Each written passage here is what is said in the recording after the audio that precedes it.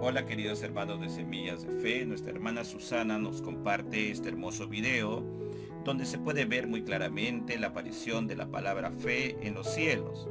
Esto sucedió en Monés de Cazón, provincia de Buenos Aires, Argentina. Ellos mencionan que el 5 de diciembre a las 8 y media de la noche apareció esta palabra en los cielos alrededor de 15 minutos. Muchas personas fueron testigos. Esta palabra es un fuerte signo que el Señor nos envía.